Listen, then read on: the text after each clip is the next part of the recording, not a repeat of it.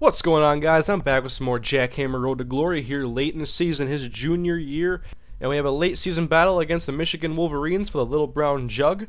So, we're almost to the end of the junior season. One more year left after this for Jack Hammer, playing for Minnesota, who's struggling right now. 4 and 5, had a little losing streak, and then got a win over Iowa to get the Floyd of Rosedale back in Minnesota. But we got a big matchup here against a ranked Michigan team. And so we head into the action here.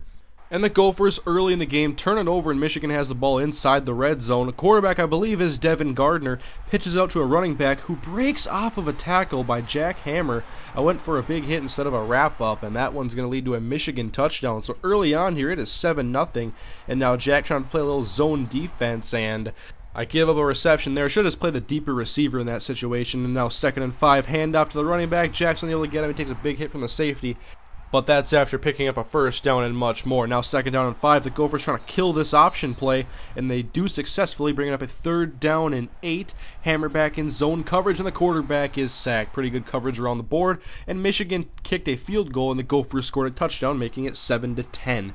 So now back on defense, and Hammer runs past the running back if I could have wrapped him up there, that would have been huge because this one is going to go the distance, and it's 17 to 7. Quick run for a touchdown for the Wolverines as the Gophers are back on defense, trying to slow down this offense as they get their way back into Gopher territory with a pass to the receiver. And now first and 10 a new set of downs, play action, and Hammer, he's going to go in and get the sack on Gardner, and that is one of his rare sacks, actually. He doesn't get too many playing middle linebacker, but they continue to work their way down the field. Third and seven, a run will go for a first down. Hammer can't get to the running back until it is too late. Now, third down and goal, looking to the end zone, and I was just going to try to cover the goal line, and I was just hoping one of those guys could play good man coverage, and well, that's my fault right there. It's 24 to 7 after that bad coverage. And then the second half, now Michigan still airing it out, and they get a big pass downfield, 24 to seven. Hammer comes through and hits the running back here clean for a nice loss of three yards. That'll set up a third down and 11. And look at the screen blocks they had set up, but the quarterback was sacked, luckily for the Gophers, and they only allow a field goal and answer with a touchdown. So now it's a 13 point deficit, but it's not going to mean anything if they can't stop this Wolverines offense as they once again get back into Gophers territory. So now first down and 10 over the middle, interception, but it looked like it was for Jack Hammer. It was actually someone who dropped back into coverage. You can see on a quick replay. I thought Jack had it at first. I got really excited, and then the Gophers scored another offensive touchdown just like that, down by six, 212 to go. Gophers need a stop, and on third down, the receiver drops a first down catch. So we go now to a super sim, a 15 yard penalty, a 19 yard pass, and a touchdown. Minnesota scores quickly, and now they all of a sudden have a one point lead on the Wolverines, have made a comeback. Here's Gardner taking off. He's going to be able to pick up the first down and move the chains.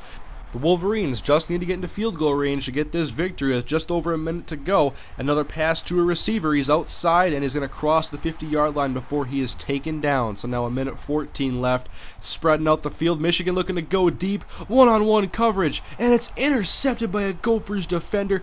Hammer lights up the receiver, and the Gophers are going to go on to win the game and win the battle for the Little Brown Jug over number 20 ranked Michigan. What a game for the Gophers. The offense really came alive and helped the Gophers get that victory 28 to 27. So after that big game, they go now to play Northwestern, another Big 10 game here on the road. And the Wildcats trying to set up a screen pass. Running back gets outside, and Jack Hammer comes in and lays a big hit. Fumble on the play. The Wildcats would recover.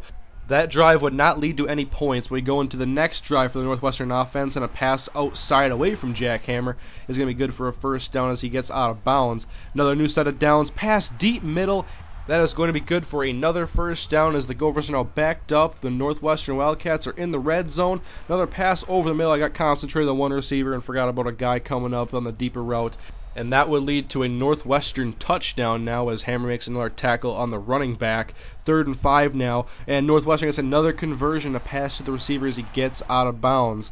And now third down and four, close to midfield. Hammer trying to cover the sideline. Throw goes the opposite way for another open man, and that is good for another Wildcats first down. Option time now for the Wildcats. The Gophers kill it, and it is a fumble, but the Wildcats recover once again and catch a break. So third down and 10. Hammer coverage over the middle, but the pass goes to the end zone. There's two Gophers defenders there, but the pass is still caught by the receiver for another touchdown. And we're just before halftime now. But the Wildcats not done yet. They're going to go deep before the half, and that is a complete pass into Gophers territory that would lead to a field goal. To the second half we go. The Gophers offense has not put any points on the scoreboard, and the quarterback just continues to throw the ball to the other side that Jack Hammer is not on and getting big chunks of yards every time. Now going to the ground game, and Jack is there to help meet the running back, but it's still an eight yard gain. Now third down and nine handoff again. Hammer is there to help stop him. That will lead to another Northwestern field goal. But with the offense getting no points, the Gophers cannot win this game this way. As once again they try to stop the offense of Northwestern. Hammer there making a tackle, but it's still a solid six yard gain, bringing up third down and nine a couple of plays later. Wildcats going through the air, and the pass is knocked away by Gophers defender. Should have picked that and taken it to the house, but Still no points on the Gophers offense. It's not looking good right now for a team that just beat the number 20 team in the nation, a big rivalry in the Big Ten, and now have come out absolutely flat against the Northwestern Wildcats. That's not helping the Gophers' hopes if they want to go to a bowl game sitting at five and five after the Michigan game, and now it's just not getting any better for the Gophers. You're late in the game, another catch for a first down as he breaks a couple of tackles. Now third down and goal, and that's going to be a handoff, and into the end zone goes the running back. So it was an ugly game overall for the Gophers.